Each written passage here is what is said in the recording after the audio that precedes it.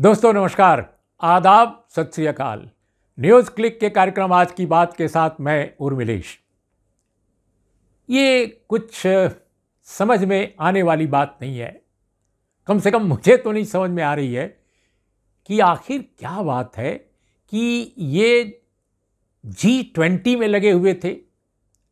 G twenty को इतना बड़ा जलसा बेशुमार खर्च, वो रंगीनियाँ, वो रोशनी, वो सजावट, न जाने क्या क्या किया गया है, जो अब तक भारत में कोई भी, जो विभिन्न देशों का बड़ा सम्मेलन जितने हुए होंगे आज़ादी के बाद से, नेहरू दौर से लेकर के और मनमोहन सिंह के दौर में, मुझे नहीं लगता कि इतना बड़ा प्रचार, इतनी भव्यता, इतना खर्चा कभी किया गया हो। लेकिन अब क्या हो रहा है? इस जी ट्वेंटी में जो ऊर्जा लगाए हुए थे, जो इसकी पूरी की पूरी ब्रांडिंग कर रहे थे, अचानक उसमें एक शिगुफा नया छोड़ दिया गया। वो क्या भाई? इंडिया और भारत का। इंडिया बनाम भारत। क्या है आज की बात? मेरी बात, आपकी बात, हर किसी की बात। देश, दुनिया, गाँव, देहात, सत्ता। समाज, संस्कृति, मीडिया और सियासत, सबकी बात। न्यूज़ क्लिक का वीकली शो आज की बात मेरे साथ। और इसके लिए भी चुना किसको गया भारत के राष्ट्रपति भवन को? राष्ट्रपति भवन की तरफ़ से जो जारी निमंत्रण कार्ड गया डिनर का या लंच का, जो भी है, उसमें बाकायदा भारत के राष्ट्रपति हिंदी में लिखा जा सकता था। वो बिल्कुल सही है, यही यूज़ किया जाता है। हमको अच्छी तरह याद है कि कई बार जब इस तरह के निमंत्रण अखबारों के दफ्तरों में बड़े पदों पर बैठे लोगों तक भी आते थे तो एक तरफ़ प्रेसिडेंट ऑफ़ इंडिया लिखा होता था और उसके बैक पेज पर जो होता था, हिंदी में होता था, उस पर भारत के राष्ट्रपति लिखा रहता था। आप रेडियो स्टेशन दूरदर्शन के भी आप देखिए कागजात, उसमें जब किसी कलाकार को, किसी पत्रकार को, किसी लेखक को, किसी बुद्धिजीवी को जो पारिश्रमिक मिलता है, उसमें भी भारत के राष्ट्रपति या प्रेसिडेंट ऑफ़ इंडिया दोनों लिखा रहता है आमतौर पे। ये बहुत ही साधारण एक प्रैक्टिस थी, आम प्रैक्टिस थी। लेकिन इस बार जी ट्वेंटी के मध्य जी ट्वेंटी के एक आयोजन में जो इनविटेशन कार्ड जारी हुआ, और अब तो ये पता चला है कि एम यानी भारत का जो विदेश मंत्रालय है, उसकी सहमति या संस्तुति से हुआ है। और वो कार्ड जो है, जारी हो गया प्रेसिडेंट ऑफ़ भारत की तरफ़ से। तो थोड़ा एक तो अटपटा सा लगता है, क्योंकि प्रेसिडेंट ऑफ़ इंडिया सुनते सुनते आई मीन सभी हैबिचुअल हो चुके हैं अभ्यस्त हैं, पूरी दुनिया के लोग, भारत के लोग भी। या अगर हिंदी में भारत का ना है तो भारत के राष्ट्रपति। संविधान में भी यही है। लेकिन ये जारी किया गया उस सरकार द्वारा, उस पार्टी की सरकार द्वारा, जो अब तक इंडिया ही इंडिया करती रही है। भले उसका नाम भारतीय जनता पार्टी है, लेकिन इंडिया शब्द से उसको इतना मोह रहा है कि स्टार्टअप इंडिया, डिजिटल इंडिया, जीतेगा इंडिया, दौड़ेगा इंडिया, और न जाने क्या, मेक इन इंडिया न जाने कितने इंडिया के नाम पर जुमले और नारे और स्लोगन मौजूदा सरकार ने या इसके बड़े नेताओं ने रचे हैं? लेकिन अब रातों रात न जाने क्या हुआ दो तीन दिन में या दो दो तीन सप्ताह में? किस ये कहने लगे और इनके कैबिनेट मंत्री जो इंडिया या भारत के नाम पर शपथ लिए होंगे? और उन्होंने माने इंडिया के मंत्री या या भारत के मंत्री के रूप में शपथ लिए होंगे। वे कहने लगे कि इसमें गुलामी की बू आती है, ये गुलामी की लिगेसी है, गुलामी का प्रतीक है। वो ये भी बताने लगे, एक तो बड़े कैबिनेट मंत्री, नए नहीं, बहुत सीनियर, वो कहे कि ये बड़ा खतरनाक शब्द है। तो भाई दो ही कारण हो सकता है। एक तो विपक्षी लोग बड़े खतरनाक आपके लिए हैं क्योंकि वो जैसे भी हैं, अच्छे हैं, बुरे हैं, खराब हैं, जैसे भी हैं। लेकिन लड़ तो लड़ेंगे तो वही आपसे चुनाव में। आम आदमी तो नहीं लड़ सकता। आम आदमी अपनी पार्टी भी जल्दी नहीं बना सकता। आम आदमी या तो आपको सपोर्ट करता है या तो उनको सपोर्ट करता है। अब वो अलायंस बना लिया उन्होंने। उसका नाम रख दिया India I N D I A India. उनका अपना नाम है।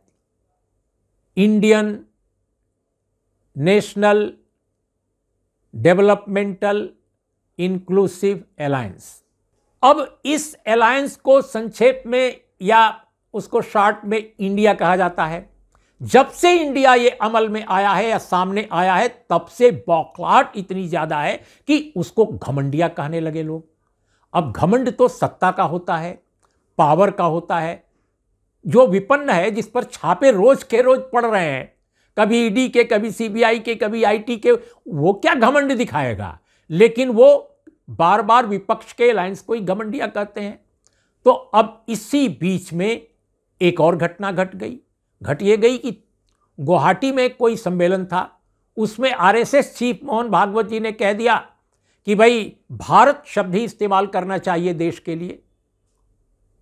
इनके, इन्हें मालूम नहीं है कि सातवीं और नौवीं शताब्दी के बीच ये शब्द ट्रेवल करके पता नहीं कैसे इंडस से ये ज़रूर जुड़ा होगा, यानी सिंधु नदी से, कि सिंधु के इस पार भारत के बारे में ये आम तौर पे माना गया कि ये जो लोग रहते हैं उनको एक तरह से वो अभिहित कर रहे थे इंडियन के रूप में। तो ये जो शब्द है, इंडीज के रूप में, इंडी, इंडस के रूप में कभी न कभी सातवीं से लेकर, बल्कि सातवीं से कुछ पहले इसका ज़िक्र मिलता है।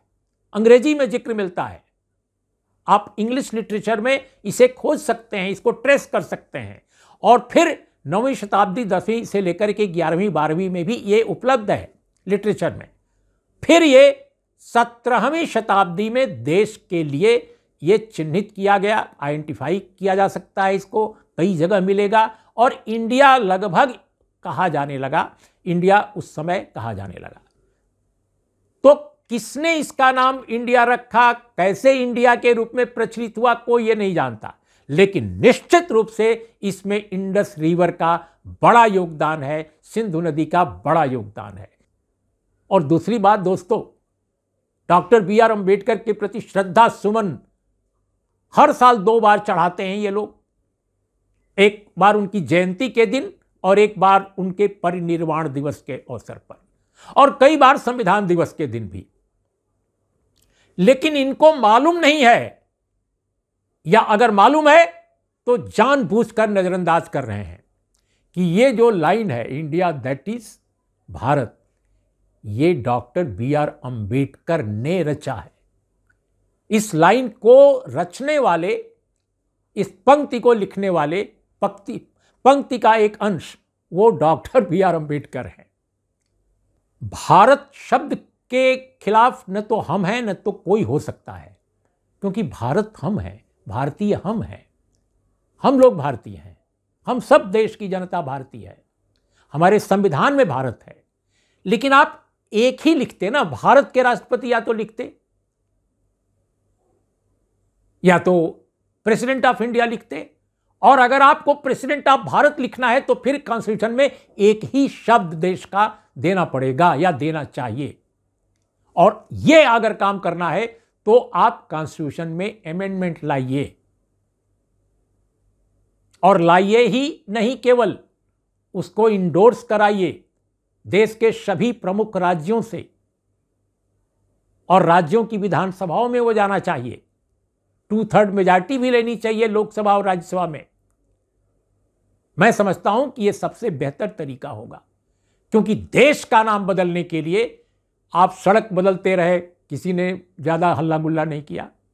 आप शहर का नाम बदलते रहे, गाँव का नाम बदलते रहे, कस्बे का नाम बदलते रहे, स्टेडियम का नाम बदलते रहे, पार्क का नाम बदलते रहे, किसी ने ज़्यादा शोर शराबा नहीं किया कि चलो जी सरकार है, काम नहीं कर रही है तो नाम ही बदले, क्योंकि काम तो दिखाई नहीं देता। केवल आपका नाम दिखाई देता है हर जगह लेकिन अगर आप देश का नाम बदल देंगे तो उसके लिए इंडोर्समेंट तो होना चाहिए, क्योंकि देश केवल आपका नहीं है, मेरा भी है। इस देश के असंख्य लोगों का है, उनका भी इंडोर्समेंट चाहिए। कि इस देश का नाम क्या होना चाहिए? संविधान सभा ने तो तय कर लिया था। आप तो उसको पलट रहे हैं, और जब पलट रहे हैं तो निश्चित रूप से उस पलटने के बारे में जो प्रस्ताव है उस पर देश की मुहर होनी चाहिए। तो दोस्तों आज हमारे साथ इसी मुद्दे पर बातचीत करने के लिए देश की जानी मानी पत्रकार पूर्णिमा जोशी मौजूद हैं। पूर्णिमा आपका स्वागत है हमारे कार्यक्रम में। आ, सबसे पहला मेरा सवाल है कि जो ये प्रेसिडेंट बनाम राष्ट्रपति का जो विवाद एक अनोखा विवाद जो आज तक आज़ाद भारत में कभी तरह तरह के राजनीतिक दलों की सरकारें थी, लेकिन कभी इस तरह की कंट्रोवर्सी नहीं खड़ी हुई। लेकिन जो खड़ी हो गई है, इसको आप किस रूप में पहले देख रही हैं? फिर हम डिटेल में बात करेंगे। व्हाट्स योर ऑब्जर्वेशन क्या आपका रिएक्शन इस पर है? देखिए, मुझे ये लगता है कि ये सारी जो विवाद हैं, ये बीजेपी जनरेट करती है और इसमें ऑपोजिशन मीडिया सब लोग शामिल होते हैं।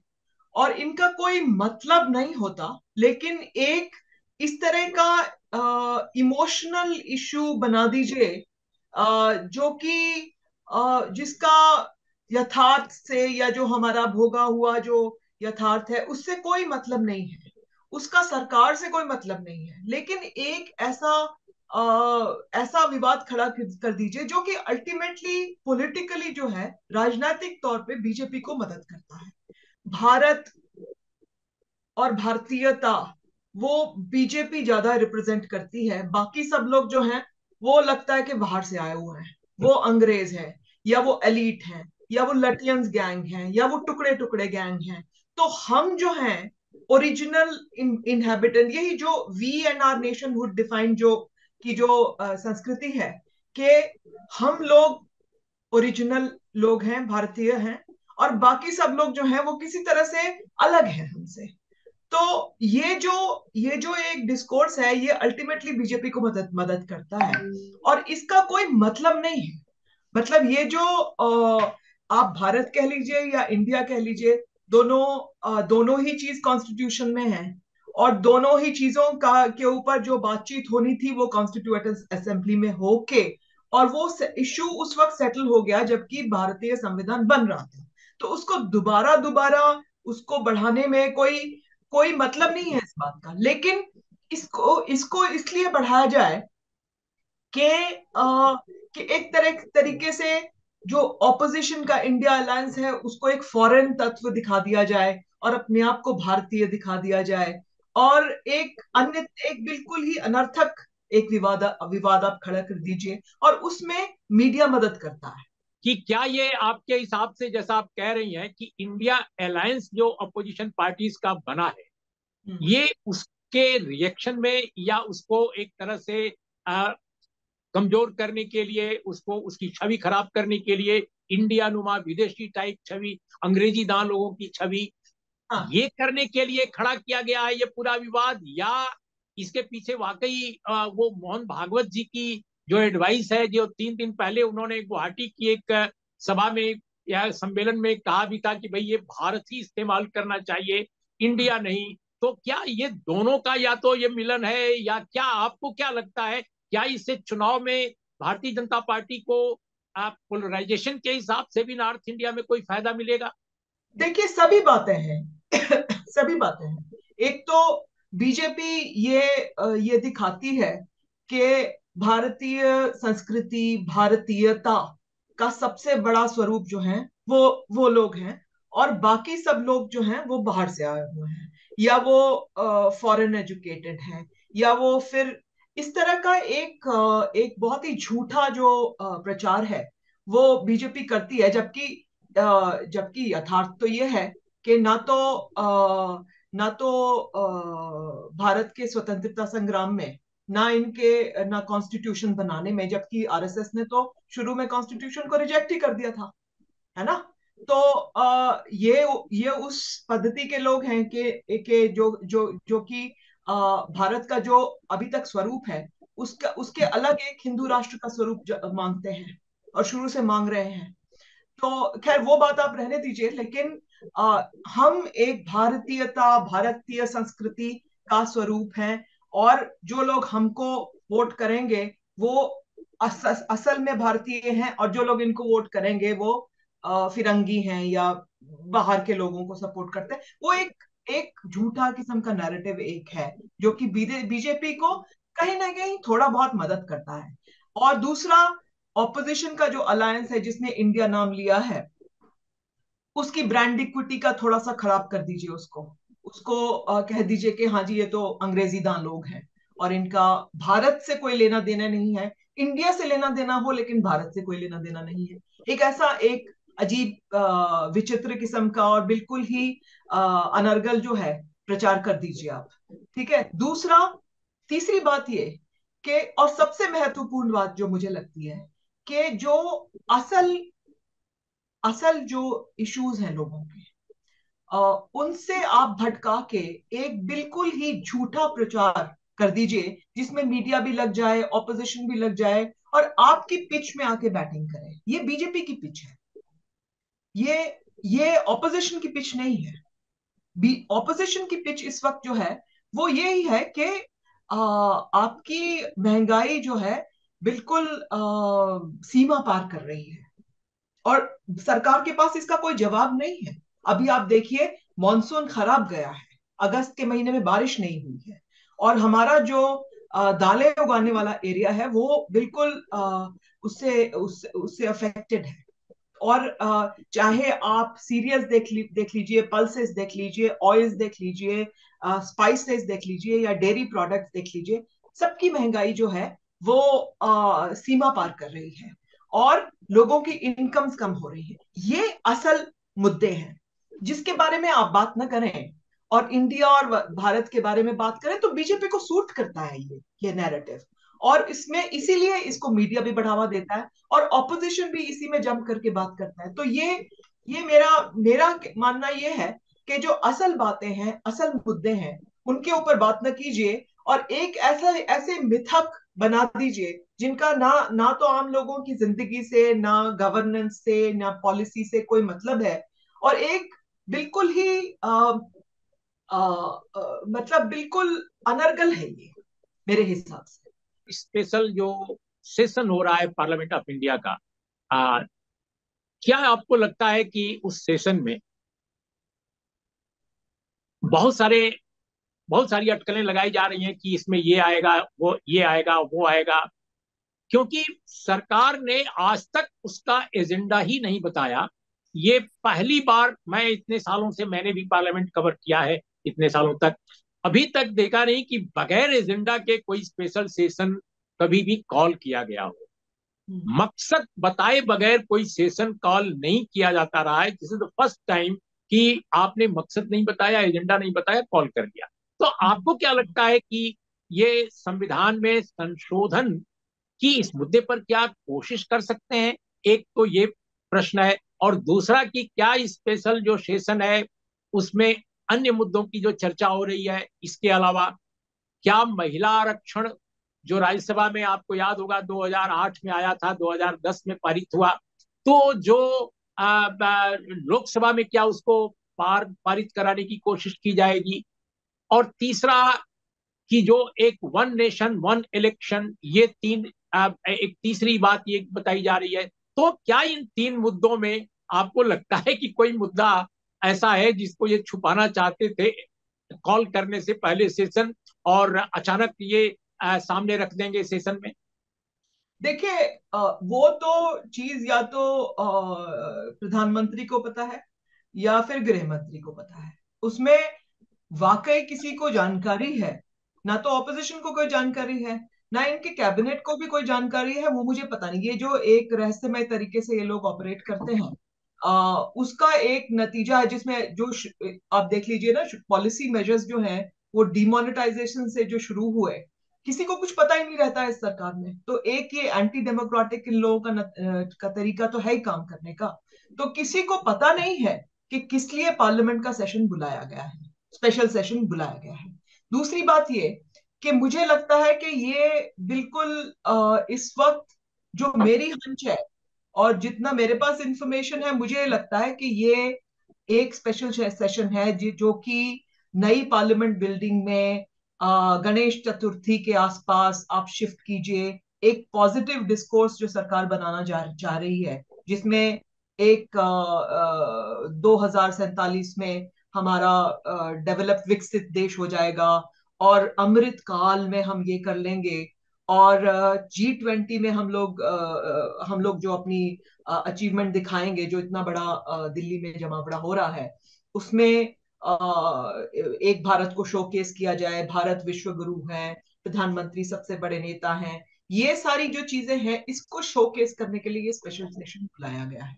उसमें जो साथ साथ ये और बातें हो रही हैं उसमें देखिए वन नेशन वन इलेक्शन का तो अभी कोई नामो निशान है ही नहीं। एक इन लोगों ने वो भी इसी तरह का शगुफा है जो कि भारत और इंडिया है। है ना? उसमें वो हो, होने गाने वाला अभी है नहीं क्योंकि आपकी सारी स्टेट असेंबलीज को उसको पास करना पड़ेगा। ऐसे तो आप कर नहीं सकते हैं। अगर आपने एक साथ चलिए इलेक्शन करवा भी दिया मान लीजिए वैसे तो वो होना ही बहुत मुश्किल है। लेकिन अगर उसके अगले ही साल कोई असेंबली गिर जाती है तो आप क्या कीजिएगा? फिर उसमें प्रेसिडेंट रूल तो ये एक ऐसा आइडिया है जिसका होना बहुत मुश्किल है। तो वो एक और शगुफा है जो जो छुड़ा दिया गया है।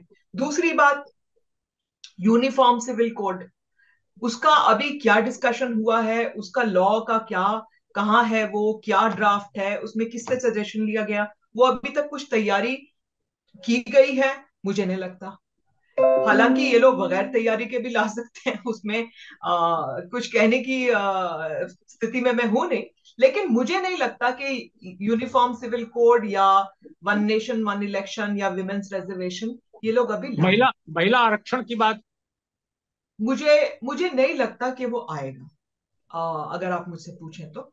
लेकिन क्या ये जो इश्यूज़ उठाए जा रहे हैं वन नेशन वन इलेक्शन इसके अलावा ये आपका जो अभी राष्ट्रपति बनाम भारत, यानी सॉरी प्रेसिडेंट और भारत का जो मसला है राष्ट्रपति का जो मसला है, ऐसा जैसे कि हम ज़्यादा भारतीय हैं, दूसरे लोग जो हैं, इंडिया वाले, वो विदेशी मूल के हैं या विदेशी दिमाग के हैं, उनका मिजाज ही इस तरह का है जी, वो भारत को नहीं पूछते, हम तो देखो भारत के लिए हैं। तो क्या ये जो इश्यूज़ सामने लाए जा रहे हैं, ये मोदी सरकार के लिए, भाजपा के लिए क्या ये बहुत बड़ा एक फ़ायदे का एजेंडा होगा या ये कहीं सेल्फ गोल तो नहीं हो जाएगा? आपको क्या लगता है?